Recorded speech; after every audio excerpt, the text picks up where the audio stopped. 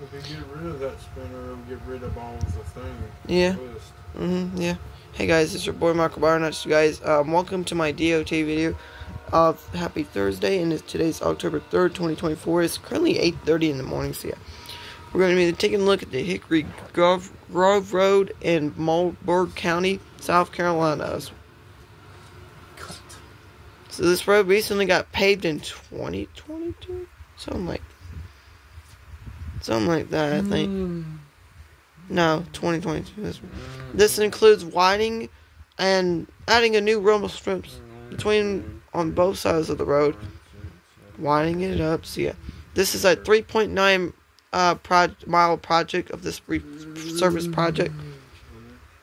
Gonna, it runs from I think. Hold up. This is 3.9 miles of resurfacing on this road. I think it, be- mainly begins from SC9 to, I'm going to say, maybe towards the end of the road. Mainly runs from, I think, onto SC, is that SC79 or what? Yeah, I think it runs from SC9 to SC79, maybe? Mm, that was a lot of engines. Or, yeah, something like I think so. Mm, Let me make sure, actually.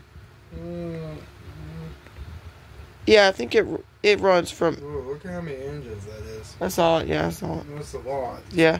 It, so it technically runs from SC9 to SC79. I'm pretty sure that's what I don't know the miles are. It's not that many miles. This it's on.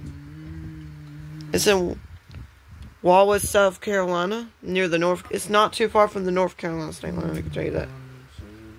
This road got widened it up. I think the previous road needed it really bad a decade ago. A decade ago, as you can see, this is what the mm. previous road looked like back then. Mm-hmm.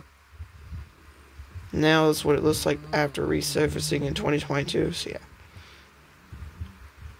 So it begins from right here. I'm pretty sure. Let me make sure. I could be wrong. Mm. Seems like it.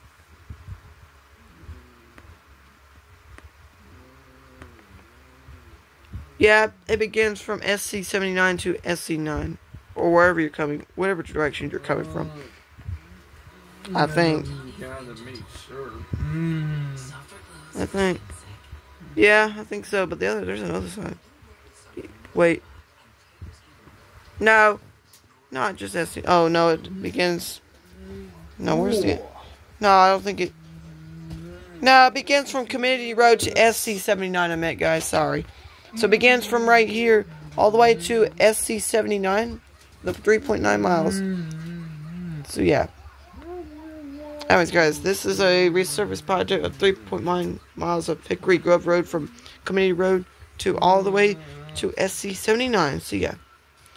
Anyways, guys, this is gonna be and credits goes to SCDOT after this. Yeah. Anyways, guys, I'll catch you back later. Bye bye.